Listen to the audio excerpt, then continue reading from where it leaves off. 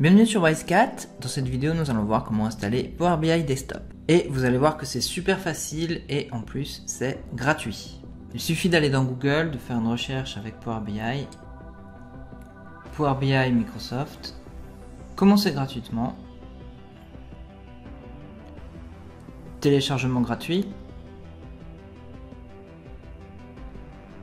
accepter le téléchargement, renseigner son nom, prénom, adresse email, etc.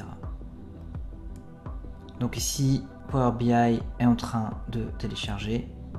Il suffit ensuite de lancer l'installation.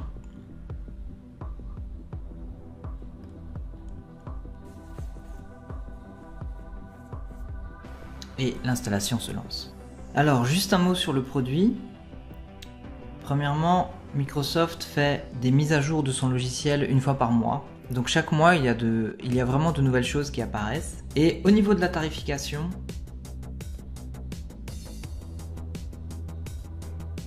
Power BI Desktop est gratuit. Et Power BI Pro, qui utilise un peu plus de fonctionnalités, est à 8,40€. Donc c'est à peu près le même prix que Office 365, si je dis pas de bêtises.